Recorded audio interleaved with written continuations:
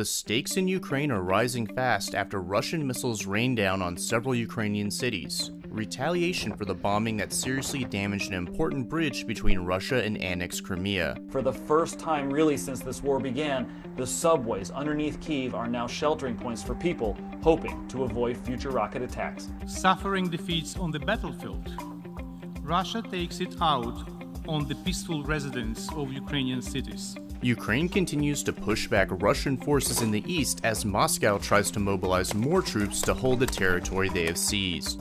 The bombing of the bridge could slow the logistics of resupplying Russian troops who are on the defensive. Russia believes that Ukrainian special forces were behind an explosion on his prized bridge to Crimea. And after weeks of military setbacks, Russia has installed a new commander known for his brutality in Syria to lead operations in Ukraine.